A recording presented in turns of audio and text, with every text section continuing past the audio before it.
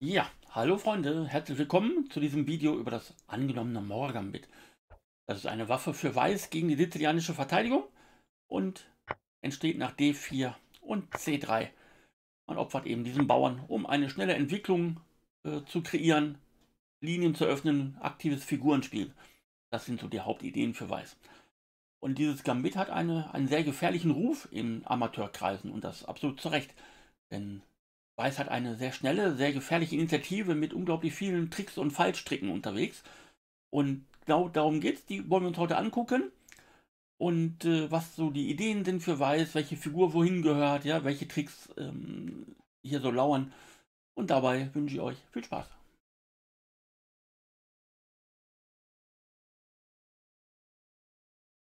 Nun, das Morra Gambit ist auch deswegen so beliebt, weil Weiß einen relativ klaren und einfachen Plan hat, wohin, wohin er seine Figuren entwickeln möchte. Und hier haben wir mehr oder weniger so immer so schematisch ein bisschen äh, immer vorgegebene Felder. Dass die Springer nach C3 und F3 gehen, ist klar. Der Läufer nach C4 ist wunderbar, weil er F7 angreift. Ähm, die Dame geht oft nach E2, um die Türme zu verbinden und die stellen sich eben nach D1 und C1, um hier schön auf der D- und der C-Linie entsprechend Druck zu machen. Gerade auch mal in Verbindung mit E4, E5, dass hier irgendwelche Hebel zur Öffnung der Linien äh, benutzt wird. Dieser Läufer F4, der könnte auch manchmal auf G5 stehen, aber grundsätzlich auch auf F4, um Richtung D6 oder auf dieser Diagonale allgemein zu wirken. Ja, und dann im Zusammenspiel mit dem Springer vielleicht mal hier irgendwelche, irgendwelche Drohungen aufzustellen. Ja, und auch mit dem Turm und so weiter. So, das äh, ist so einer der Vorteile der weißen Struktur und der weißen Stellung, dass man so schemamäßig immer die gleichen Züge machen kann und dadurch relativ schnell spielen kann. Der Nachteil könnte dann aber auch sein, dass man zu schematisch spielt und zu schnell spielt und vielleicht die eine oder andere Falle übersieht. Gut, und da fangen wir jetzt mit an und wir überlegen mal, welche Fallen und welche Tricks und Tipps gibt es hier so alles. Und da fangen wir mit dem Läuferopfer, mit dem Läufereinschlag auf F7 an.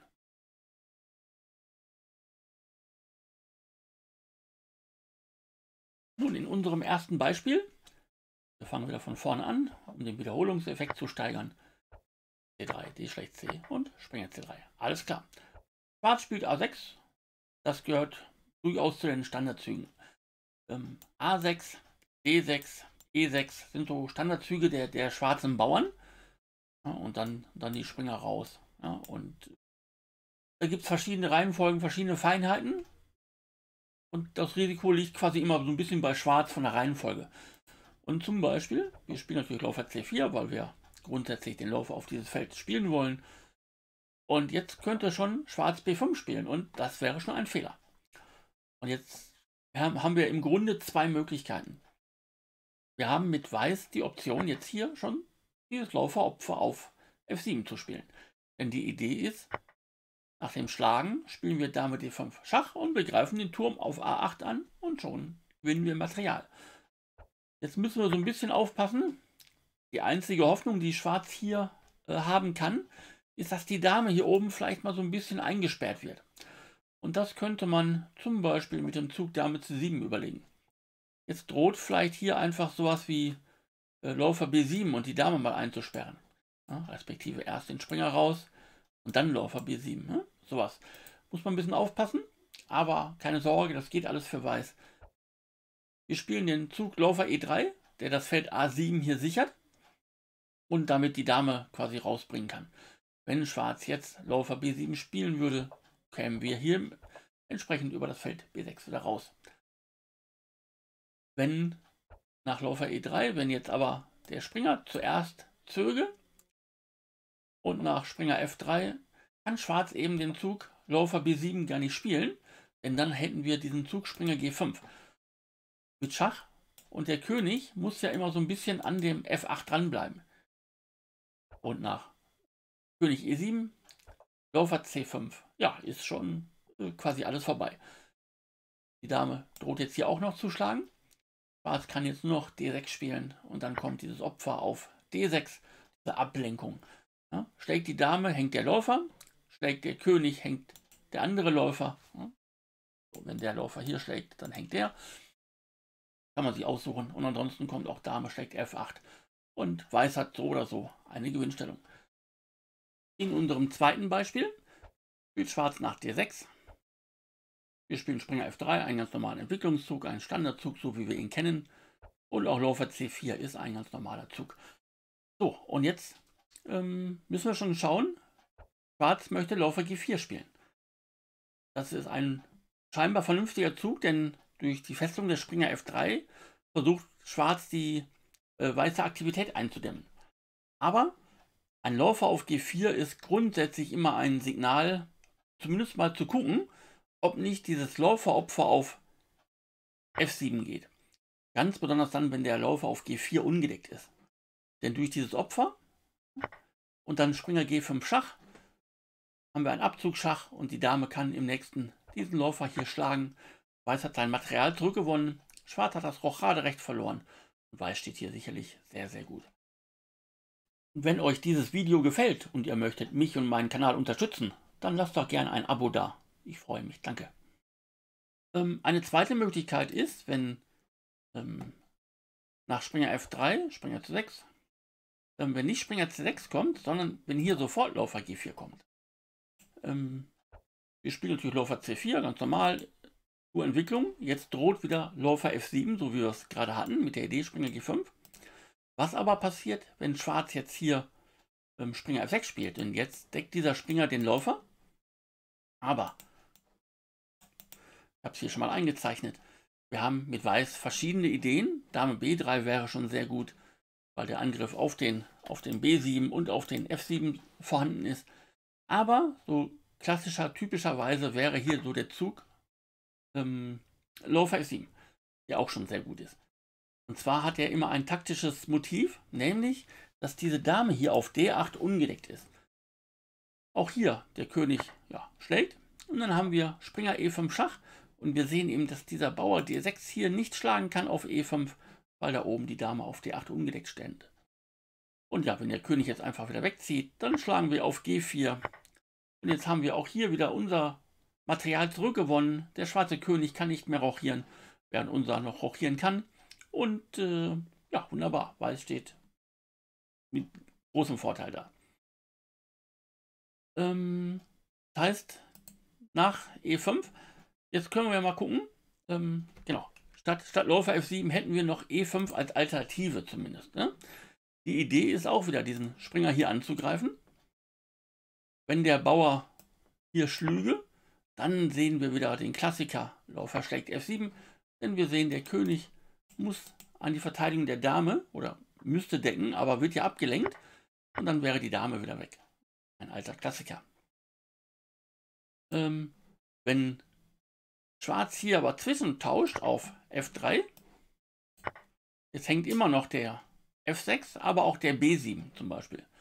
Nach dem Schlagen.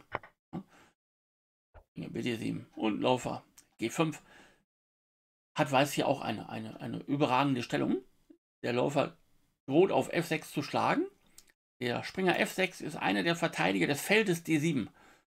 Und weil wir grundsätzlich ganz viel mit unserem Läufer auf B5 auf dieser Diagonale arbeiten können und wollen, schauen wir uns mal eben ein Beispiel an, wenn Schwarz jetzt hier zum Beispiel H6 spielt. Dann würden wir den einfach rausnehmen und Läufer B5 Schach eben entsprechend spielen können und durch Läufer D7 die Dame hier ablenken vom Turm. War jetzt, hat Schwarz ein bisschen mitgeholfen, aber hier haben wir mal die, die taktische Thematik ähm, erkannt. Okay, das war das zweite Beispiel zu diesem typischen Läufer schlägt F7. Hier muss äh, Schwarz schon sehr höllisch aufpassen, gerade wenn der Läufer ähm, auf C4 steht. Ja? Gerade ein ungedeckter Läufer auf G4 ist, ist einfach nicht gut. Und in diesem Beispiel haben wir jetzt schon so ein bisschen angeteasert die, die nächste Rubrik, nämlich der Durchbruch E4, E5.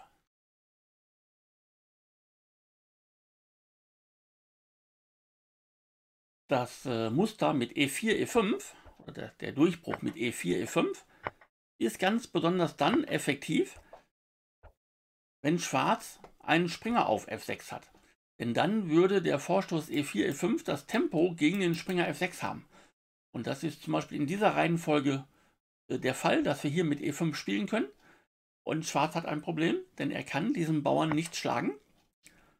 Denn dann kommt der typische Indianertrick. Läufer schlägt F7 und wieder. Wir sehen, der König muss die Dame gedeckt halten, kann es aber nicht wegen der Ablenkung. Ja? Und die Dame geht verloren. Das wäre schon, schon äh, ja, ganz schlecht.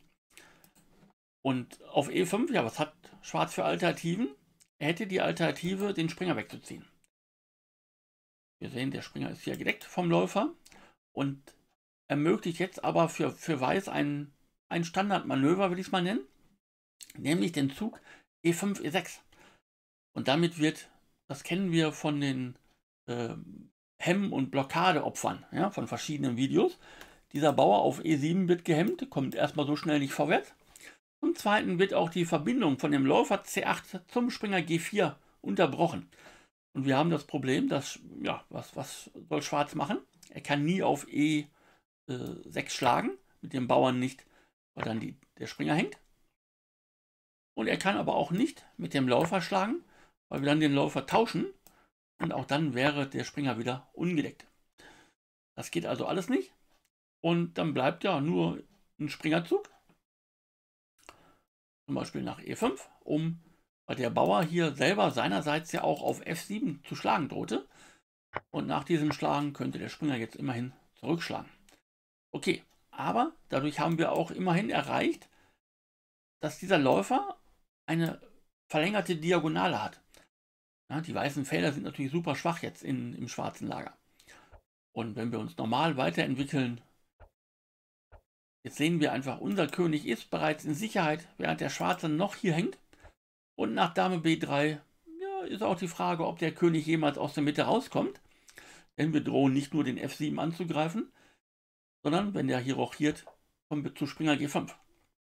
Und Schwarz kann das jetzt hier gar nicht mehr abwehren mit E6, ja, weil der Springer natürlich auch noch hier drauf steht und so weiter. Und dann würde Schwarz schon Material verlieren.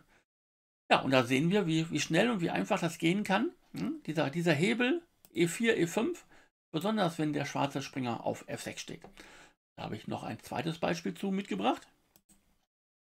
Auch hier fangen wir wieder von vorne an. Auf C3. So, E7, 6, Läufer C4. Jetzt spielt Schwarz erstmal Springer C6, okay. Springer F3. Und jetzt spielt der Springer F6. Und auch das hier ist etwas verfrüht, denn hier auch gibt es die taktischen Möglichkeiten, mit E4, E5 Verwirrung zu stiften. Denn wieder greift dieser Bauer den Springer an und Schwarz kann diesen Bauern, diesen vorlauten und diesen äh, frechen Bauern quasi nicht schlagen.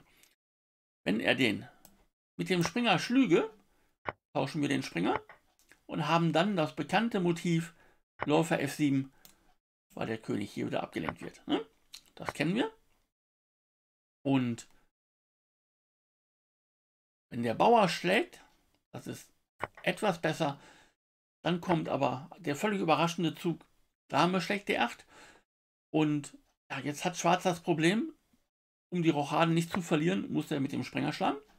Okay, wir könnten jederzeit hier auf E5 diesen Bauern zurückbekommen, hätten dann schon drei Figuren im Spiel. Aber der Zug Springer B5 ist hier viel, viel stärker. Denn wir haben sofort die Drohung der Gabel auf C7. Und ja, wie soll Schwarz die abwehren? Hier könnte er zum Beispiel schon wieder fehlgreifen, indem er ähm, mit dem Springer nach E6 zieht, weil der Springer ja vermeintlich dieses Feld hier deckt. Aber dann können wir diesen Verteidiger entfernen und mit Springer C7 entsprechend den Turm hier einsammeln. Das geht schon mal nicht nach Springer B5. Etwas trickreicher ist der Zug Läufer E6, aber der funktioniert auch nicht. Auch hier haben wir wieder diese Gabel mit dem Turm gewinnen und Schwarz dachte sich, okay, ich kann ja hier dafür wenigstens diesen Läufer gewinnen und wenn ich jetzt hier in irgendeiner Form diesen Springer auf A8 gewinne, ist alles gut. Unglücklicherweise hat Weiß hier diese Gabel auf E5 jetzt und der Läufer auf C4 geht auch noch wieder verloren. So, wir sehen, alles nicht so einfach nach Springer B5. Bleibt fast nur noch so ein Zug wie Turm B8, um aus der Festung, äh, aus dieser Gabel rauszugehen. Hm? Aber jetzt schlagen wir hier auf, auf E5 und wir sehen, ähm, die schwarzen Figuren stehen alle sehr unharmonisch da hinten rum. Und das ist schon, schon ähm, trickreich. Wenn zum Beispiel so ein Zug wie der Bauer auf A7 würde auch hängen und wenn der hier einfach vorzieht, dann droht hier nicht nur ein Schach, sondern weil der Springer jetzt hier auch noch dieses Feld kontrolliert, wäre es sogar ein Matt. Ja, und da beginnen so die Probleme für, für Schwarz. Ne? Was hat er hier noch für Züge? Ähm, E7, E6. So eine, eine der Züge, um sich hier ein bisschen Platz zu machen. Aber das sieht natürlich nicht schön aus. Ja? Der König auf E7 versperrt den Läufer. Und hier kann, kann Weiß auf verschiedene Arten, zum Beispiel mit B3 und Läufer A3, äh, Matt-Ideen aufbauen. Ne? Aber auch so ein Zug wie Läufer E3 ist sehr gut, weil der A7 hängt und dann würde der Turm ja eingesperrt sein, weil der Turm ja hier gar nicht hin kann wegen dem Springer. Ne? Also was auch immer ähm, Weiß hier zieht, er steht sicherlich sehr gut. Nebenbei droht jetzt hier auch noch der Läufer nach C5 nicht nur Schach zu geben, sondern auch noch ein Matt zu geben. Puh, ne? alles äh, hochkompliziert für, für Schwarz. Nach Springer 6 äh, machen wir die lange Rochade und wir sehen, alle weißen Figuren spielen mit. Die D-Linie ist, ähm, ja, der weiße Turm kontrolliert die Felder, der König ist eingesperrt, die schwarzen Figuren kommen nicht zur Entwicklung. Und zu allem Überfluss kann Schwarz jetzt hier auch noch nicht mal diesen Springer schlagen, weil dann wieder Läufer C5 in Matt folgen würde. Ja, ihr seht, ne, selbst wenn, wenn das Matt vielleicht nicht forciert ist, aber die Stellung ist einfach super blöde zu spielen für, für Schwarz, ne, mit dem König in der Mitte und eine völlige Disharmonie. Also dieser Vorstoß E4, E5, gerade in besonders nach einem sehr frühen Springer F6, in Verbindung mit Läufer F7, was wir eben ja auch schon hatten. Ihr seht, das hängt ein bisschen zusammen. Ne? Das ist sehr, sehr gefährlich für Schwarz. Die nächste, nächste Kapitel beschäftigt sich mit dem Aufbau von Schwarz mit G7, G6.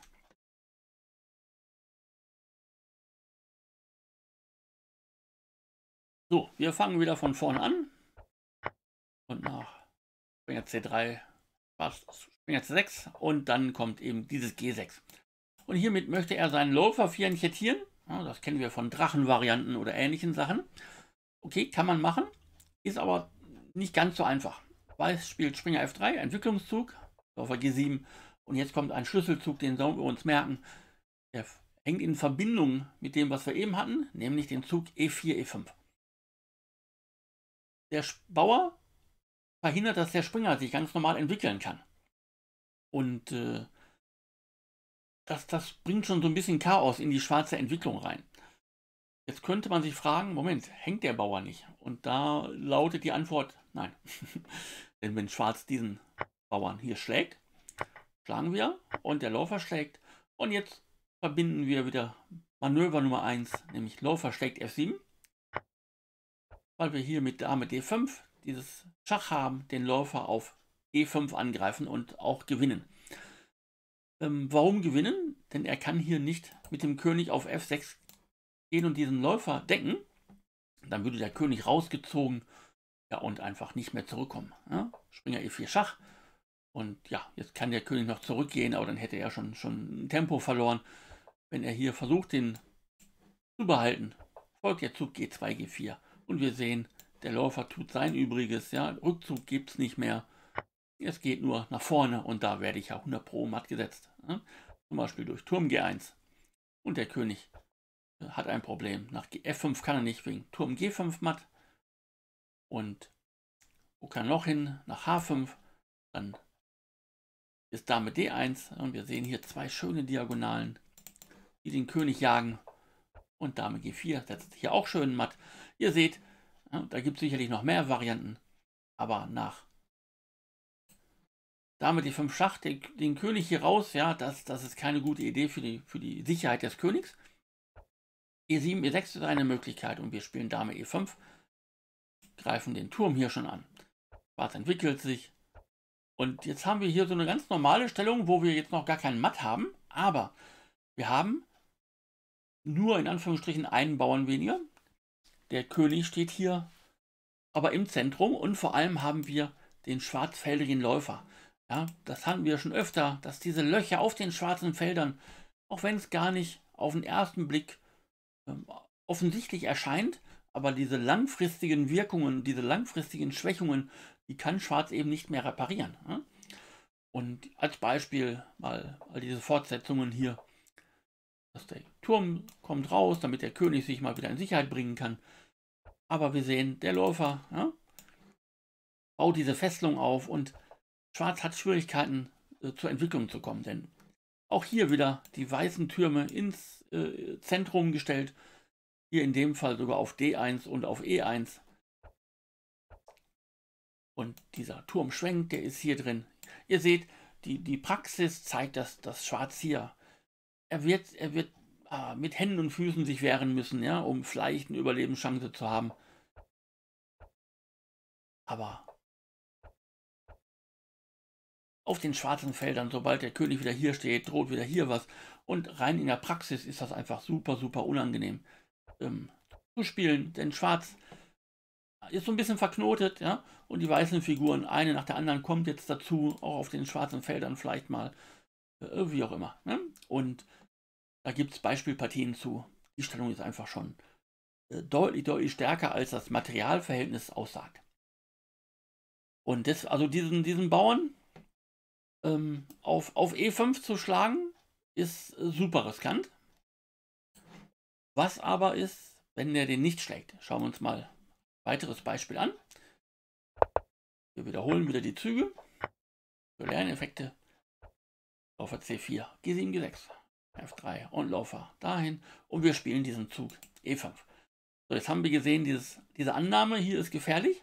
Was aber passiert, wenn der Springer jetzt hier einfach sich entwickelt und sagt, komm, ich mache die Rochade und dann ist gut. Ne?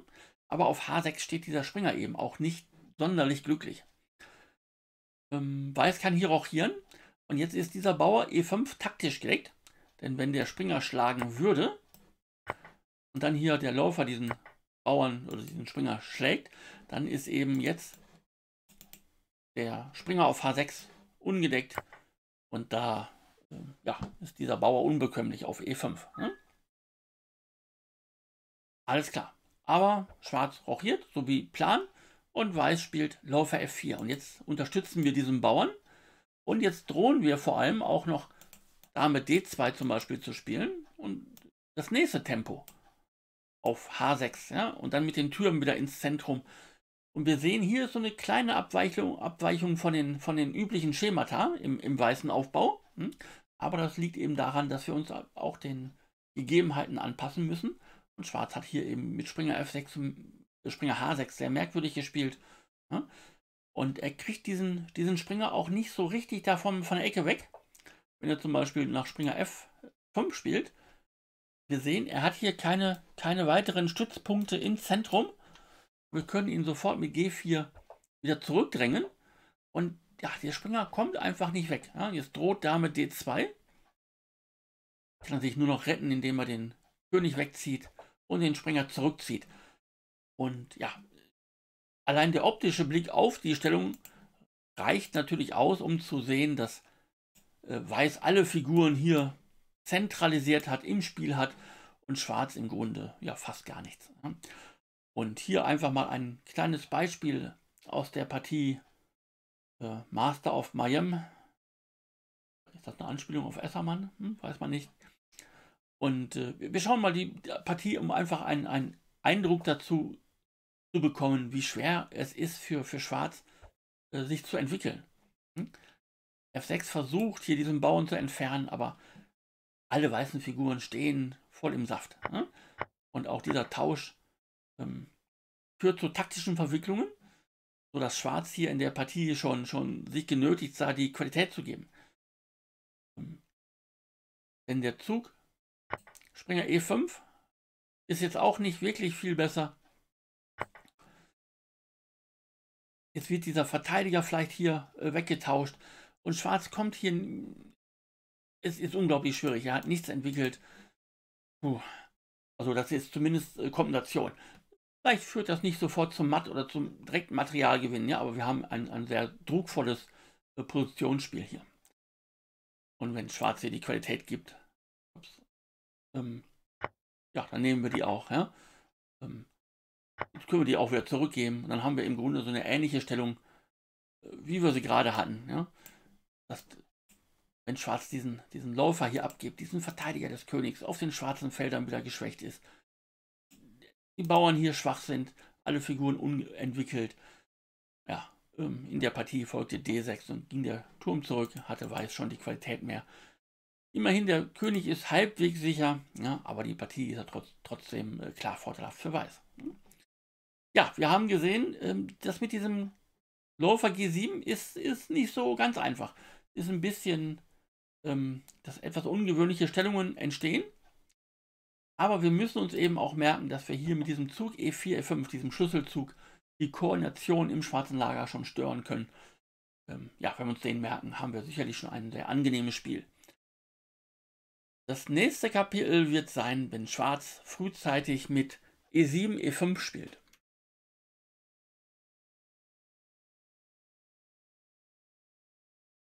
Nun, der Aufbau mit E7, äh, E5 aus schwarzer Sicht ist ah, von, von Haus aus sehr, sehr kritisch zu betrachten.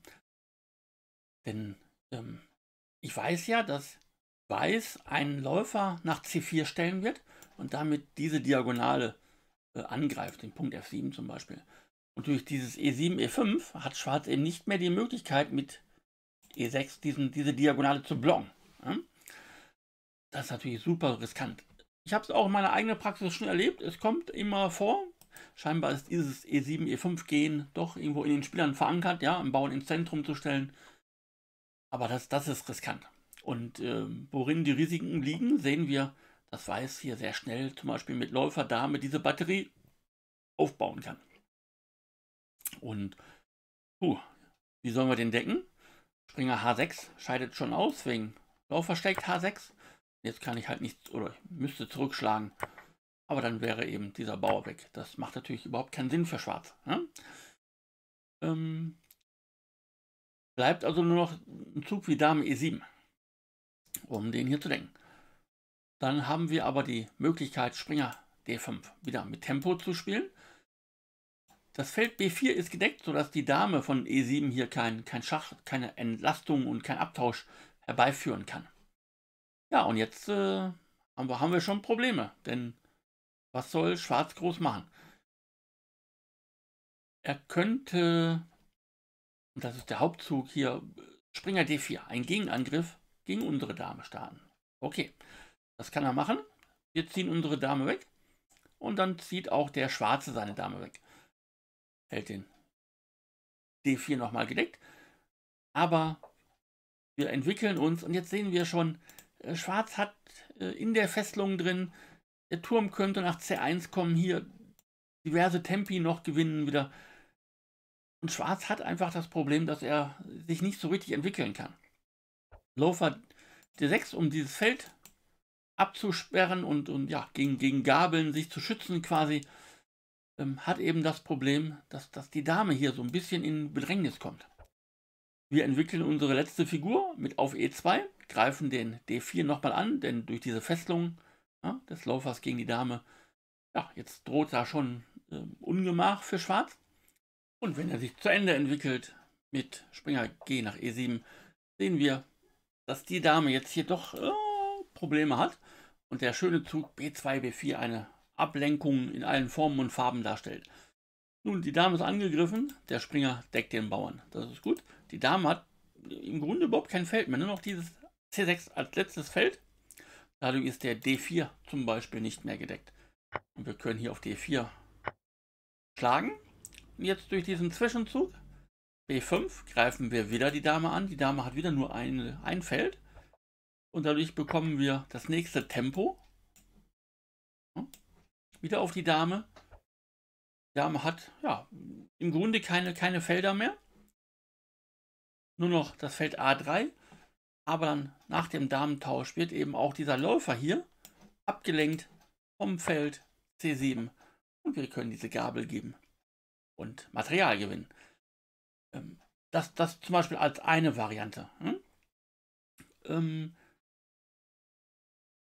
dann schauen wir nochmal, wenn Schwarz nicht Springer D4 spielt, sondern erst zum Beispiel Dame, ähm, Dame D6 spielt dann gibt es natürlich wieder, dass, dass dieser Punkt F7 ungedeckt ist. Und dann mit dem schönen Zug, Springer C7 Schach, erzwingen wir Dame gleich C7, Läufer F7 und dann Läufer G8. Jetzt haben wir unsere Figur zurückgewonnen. Der König auf D8 steht natürlich oh, völlig äh, so, so im, im, Hemd, mehr oder weniger im Zentrum. Und äh, selbst so ein Zug wie Springer D4 ist schon nicht möglich, weil weiß, die, die weiße Entwicklung geht natürlich auch super, super schnell weiter. Ja? Mit Läufer G5 und Turm D1 und, und so weiter. Ja? Und so ein Zug wie Springer D4, der jetzt zugegebenermaßen nicht der beste ist, aber soll mal demonstrieren, dass hier sofort die Gefahr droht. Denn äh, auch dieses Läufer E7, ähm, der einzige Zug ne, auf König E8 käme Dame F7. Und hier ist nach dem Tausch, dass hier auch die Dame reinkommt und der König auf die C-Linie getrieben wird und Turm C1 mindestens mal die Dame gewinnt. Ja, vielleicht kann man hier auch noch irgendwie auf Matt spielen. Aber, wenn wir jetzt mal zur Erstellung hier zurückgehen, ähm, objektiv, ähm, Springer D4 war natürlich jetzt nicht gut, aber grundsätzlich der König hier auf, auf D8 steht natürlich super in der Mitte. Ja. Schwarz hat kein Material dafür mehr, dass der, dass der König hier so leiden muss. Und äh, deswegen, das ist alles in Ordnung.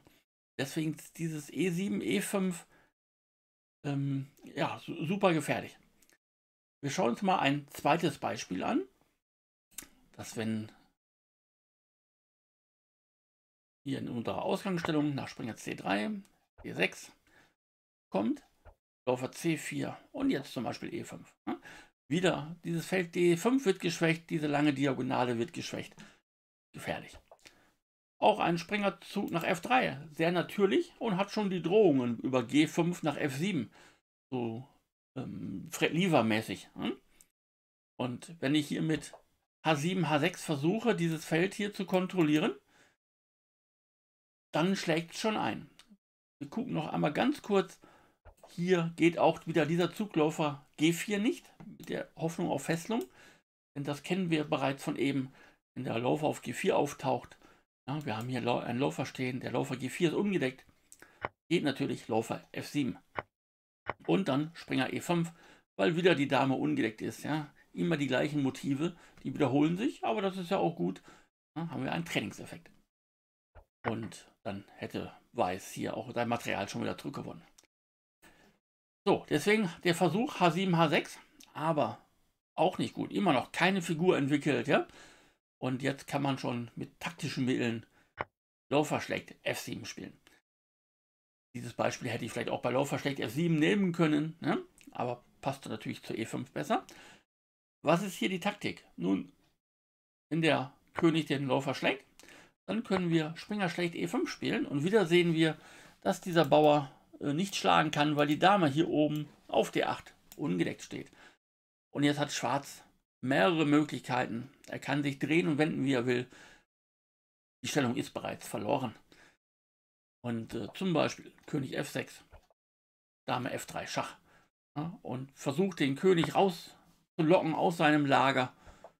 Ja, und Dame F7 als Schlüsselzug, den müssen wir uns dann merken. Denn verhindert die Rückkehr des Königs. Ja, okay, kleine Anspielung. ähm, ja, und hat der König nur noch ein Feld hier auf D4 und der kommt immer weiter nach vorne. Und hier stehen so viele weiße Figuren. Das wird immer matt werden. Als Beispiel Springer F6, F4 Schach, König und jetzt Springer E2 Schach und dann Springer G3 Schach verhindert die Flucht über F5. Der König muss hier hin. Läufer E3 Schach, wieder mit Tempo. Ihr seht immer mit Tempo, Tempo, Tempo. Hm? Und damit C4, wieder schöner Zug. Einfach den König auf der vierten Reihe abschneiden oder von der vierten Reihe abschneiden. Und äh, jetzt droht zum Beispiel so ein Zug wie Springer F1. Also ich denke, E7, E5 sollte kein Problem für Weiß darstellen. Ähm, als nächstes schauen wir in das Kapitel, wenn Schwarz zu früh den Springer von G8 nach F6 entwickelt.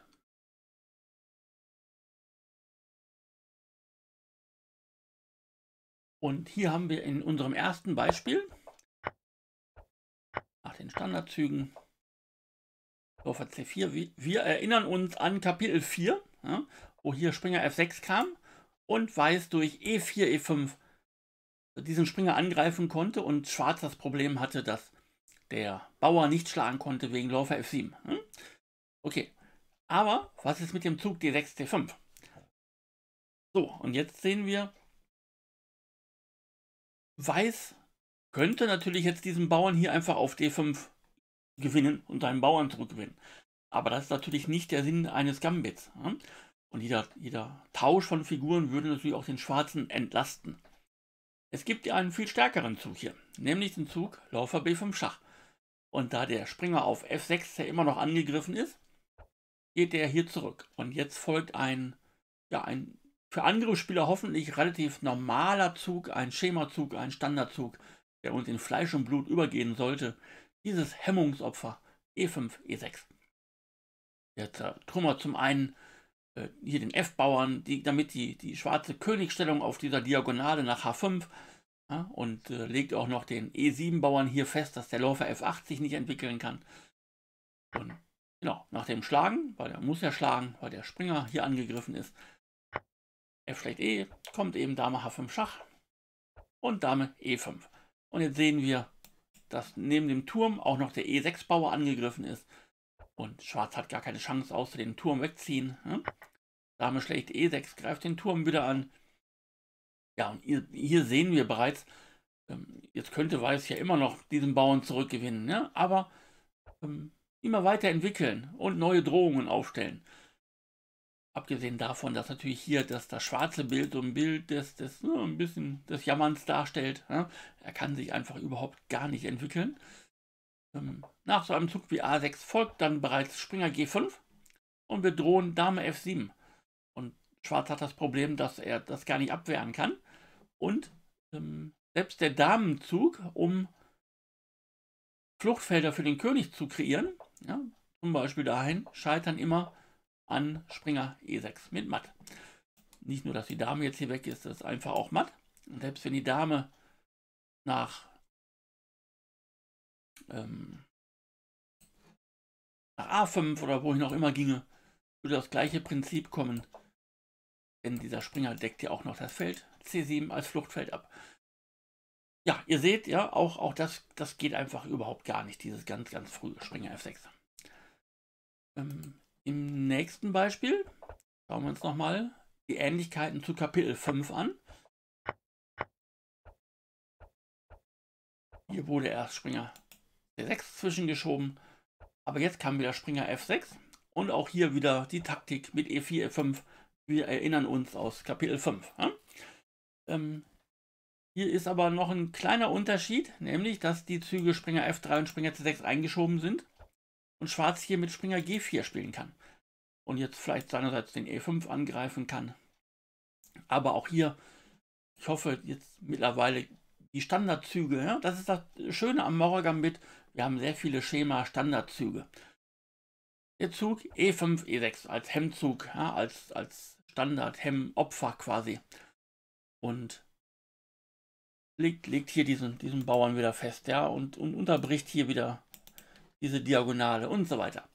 Und nach F schlägt E kommt eben Springer G5 und wir greifen den E6 an. Wir greifen jetzt mit der Dame den, den Springer auf G4 an. Der muss sich jetzt hier in irgendeiner Form retten. Und ähm, wir schauen mal, wenn er nach E5 ginge, könnten wir trotzdem auf E6 schlagen. Und wenn es zu einer solchen Stellung kommt, sehen wir, dass der König in der Mitte bleibt. Der weißfeldige Läufer verhindert quasi die Rochaden in beide Richtungen. Weiß wird hier gleich rochieren können. Und äh, ja, selbst, selbst, wenn hier kein, kein forciertes Matt drin ist, aber hier stehen wir einfach sehr, sehr gut und sehr angenehm.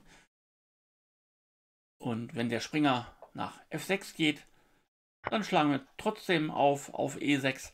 Und die Stellungsbilder ähneln sich auch hier. Unser König ist in Sicherheit. Und ja, dieser, dieser Springer hier auf E6 natürlich ein, ein Monster. Ja? Ständig die Rochade, die Gabeln, diverse Gabeln drohen. Ja, diese Oktopus-Springer hier. Ne? Und ja, um den loszuwerden, muss Schwarz den tauschen und dann haben wir die gleiche Problematik wie eben, dass dieser Läufer hier einfach super steht und der schwarze König in der Mitte verbleibt ohne Entwicklung. Und ein Beispiel aus einer Partie von Damjanovic gegen Deskur. Schwarz versuchte Springer D7, um die lange Rochade vorzubereiten. Aber Springer D5 kommt und das hat einen, einen taktischen Grund wieder. Denn wenn Schwarz jetzt, er hat hier in der Partie Dame D8 gespielt, denn wenn er jetzt hier die lange Rochade machen würde, sehen wir, die Dame kommt jetzt hier nirgendwo mehr zurück durch den Springer D5. Und wir haben die Taktik B4. Und jetzt haben wir ja, mit der Dame schlicht und ergreifend keine Felder mehr. Wenn der Springer den Bauern schlüge, käme Läufer D2 und wir sehen einfach diese Fesselung. Ja, Figurwechselsituation. Und wenn die Dame zurückgeht, irgendwo anders hin, die hat ja nur noch A6 als Feld, dann spielt Weiß A4 und es droht jetzt hier B5 mit der Gabel zum Beispiel. Ne? Und ihr seht, ähm, der schwarze König ist auch nicht, nicht wirklich in Sicherheit hier ne? und die Dame auch nicht und so weiter. Deswegen ging die Partie in, äh, in, in, äh, die Dame in der Partie auf D8 zurück. Aber auch hier folgte B4. Und wir sehen, Weiß entwickelt bereits die Initiative, treibt die, die schwarzen Figuren auf schlechte Felder. Hm? Und ja, die weiße, die weiße positionelle Überlegenheit ist, ist hier quasi erdrückend sozusagen. Alles entwickelt und bei Schwarz nichts entwickelt. In der Partie versuchte Schwarz G6, aber nach B5 und Turm zu 1 gab er einfach auf. Die Gabel auf C7 ist nicht zu verhindern. Respektive natürlich hier auch wegen dem Turmverlust, ne? klar. Aber wir sehen einfach die Überlegenheit der, der weißen Figuren, Entwicklungsvorsprung, Aktivität, ja und so weiter. Also das, das ist ganz kritisch. Und dann in unserem letzten Beispiel mit diesem ganz, ganz frühen Springer F6 versuchen wir nochmal, wenn Schwarz jetzt etwas typischer ähm, spielt, nämlich mit, mit E6, A6, damit C7, das sieht schon eher so nach typischen Schema Mora-Gambit-Stellungen aus. Weiß rochiert, A6 und die Dame geht auf das typische Feld E2, macht Platz für den äh, F-Turm, dass er nach D1 kann.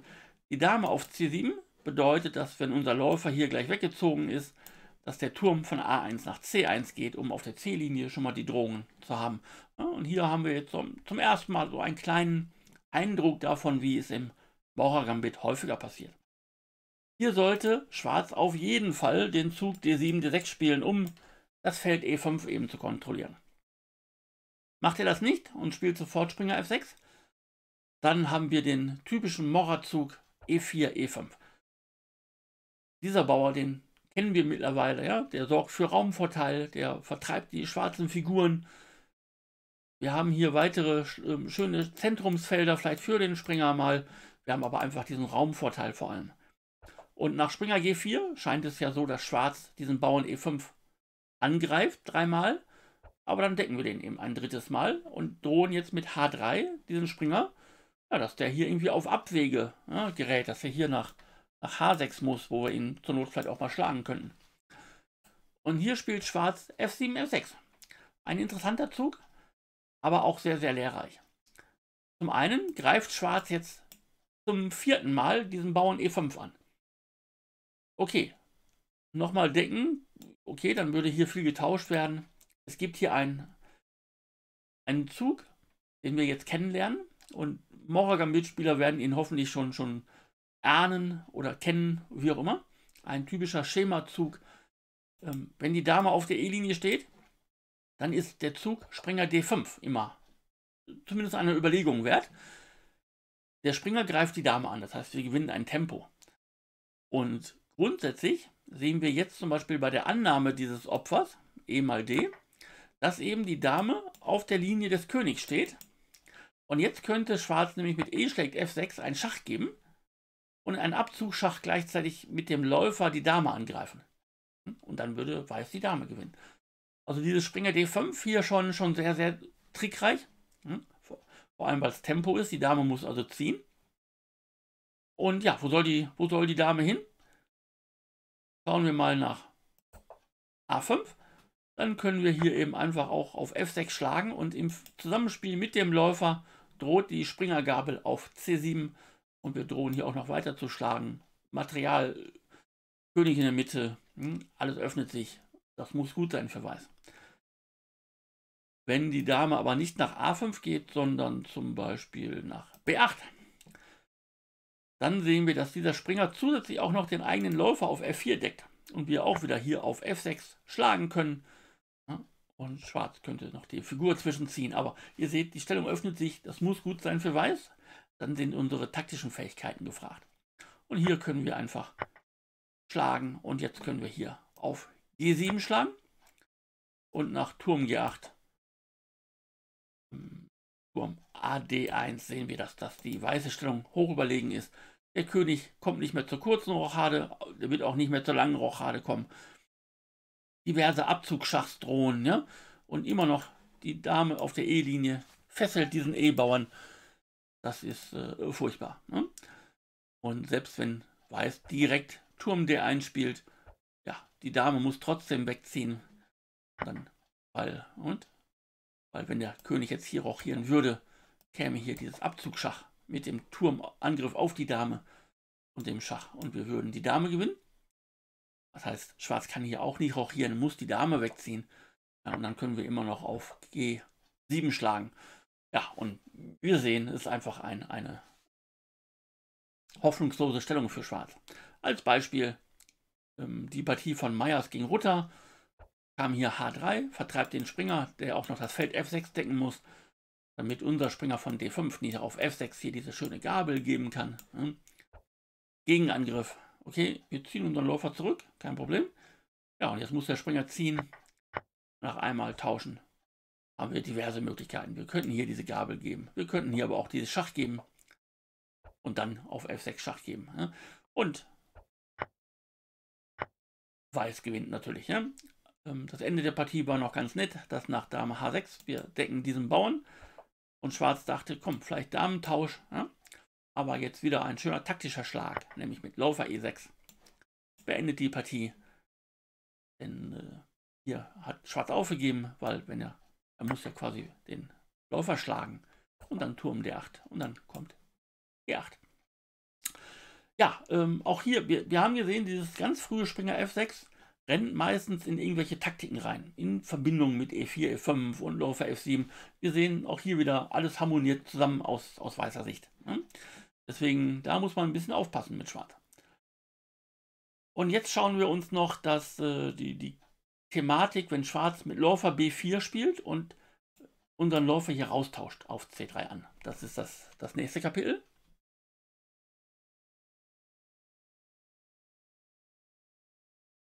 Okay, dann schauen wir. Die normalen Anfangszüge kennen wir jetzt mittlerweile.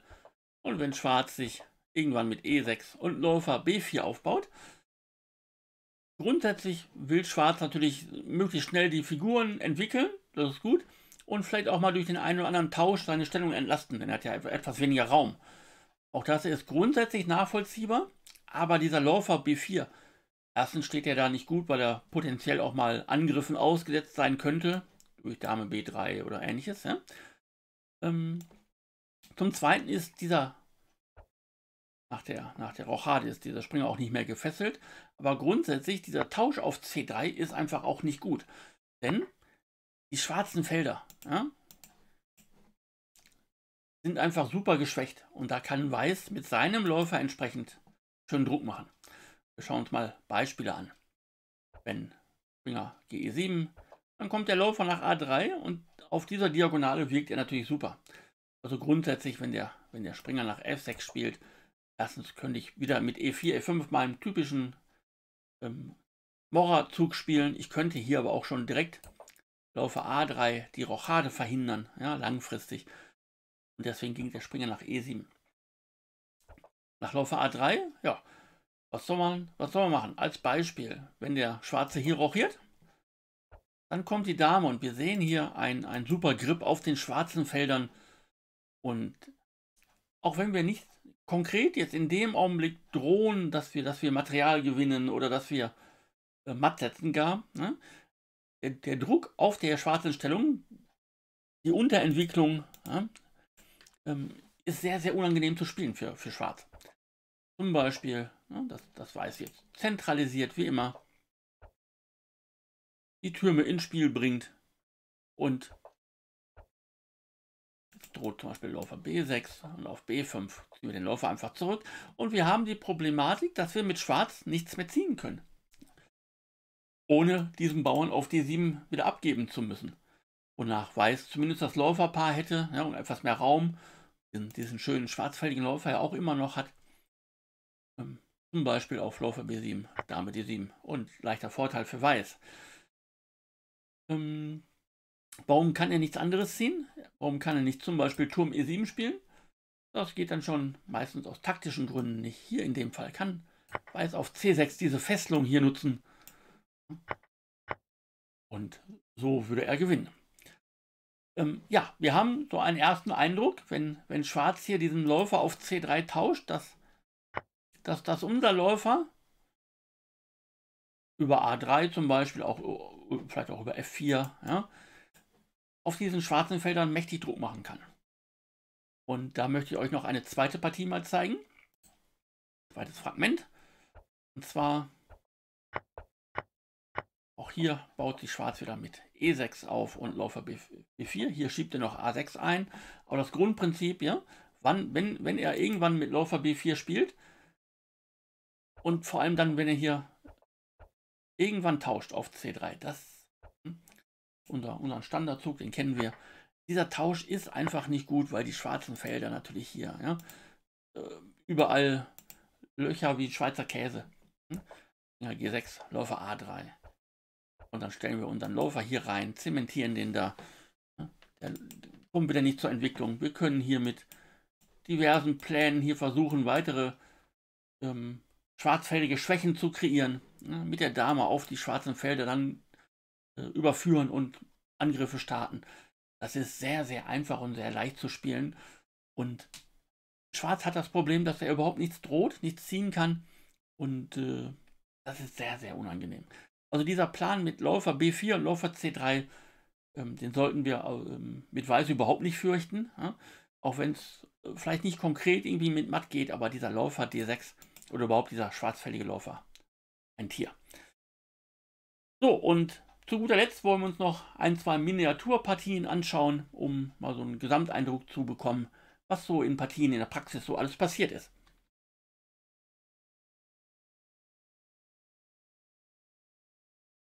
Nun, im ersten Fragment, das wir uns hier anschauen, soweit alles gut.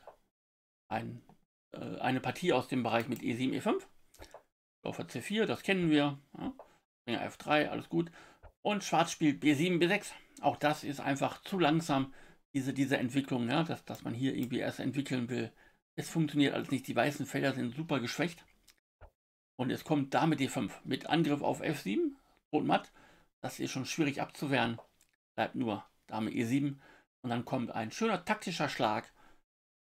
Springer schlägt E5 und der nutzt einfach diese Fesselung auf dieser Diagonale, ja, dass der Springer auf C6 gefesselt ist.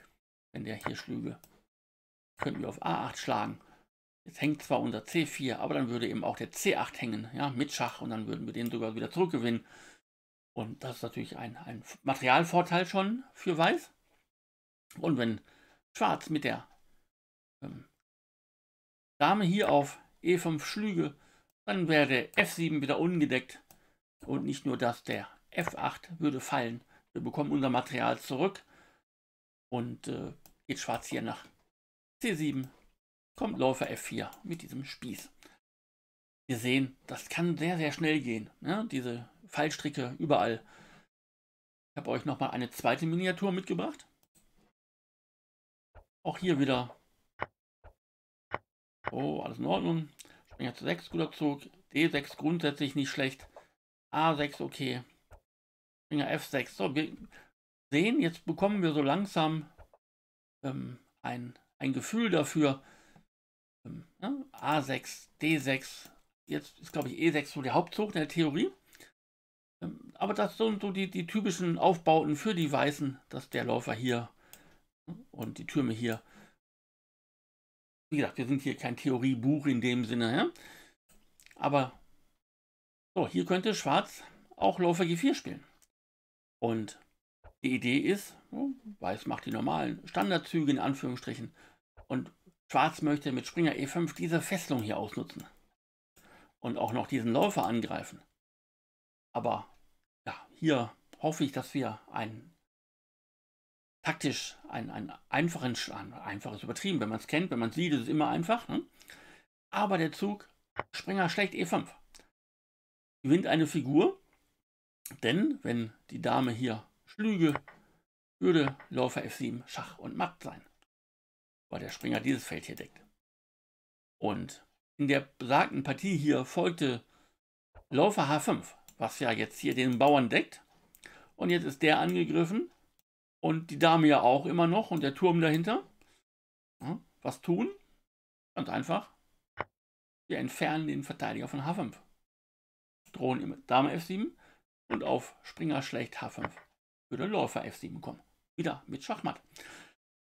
Ja, ihr seht, es gibt unglaublich viele Fallstricke unterwegs bis zu den normalen Strukturen, die wir dann als ähm, fortgeschrittener Spieler irgendwann öfter erreichen werden. Ich darf an der Stelle einfach nochmal ganz kurz auch auf mein Video zur sibirischen Falle zum Beispiel hinweisen. Da haben wir dann schon, schon einige Muster mehr erklärt, etwas fortgeschrittenere Muster. Und ansonsten habe ich noch einen Link zu dieser Studie unter dem Video verlinkt. Da könnt ihr euch gerne mal reinschauen. Hier habe ich auch noch, noch ein, zwei mehr Beispiele, die ich jetzt hier nicht mehr zeigen möchte, damit das Video nicht zu lang wird. Ähm, da könnt ihr euch in Ruhe austoben und äh, einfach nochmal nachfragen und gucken, ja, ausprobieren. So, in dem Sinne sind wir für heute zu Ende. Ich hoffe, ihr konntet ein bisschen was lernen und was mitnehmen, ähm, was, was so taktische Motive im Moragambit angeht. Dann sage ich besten Dank fürs Zuschauen. Lasst gerne ein Like da, wenn ihr mögt. Und dann sehen wir uns zum nächsten Mal wieder. Schön, dass du so viel Spaß hattest mit diesem Video. Wenn du den Kanal noch nicht abonniert hast, dann hol das doch jetzt bitte nach. Ansonsten habe ich hier zwei Videovorschläge, die für dich sehr interessant sein könnten. Viel Spaß damit!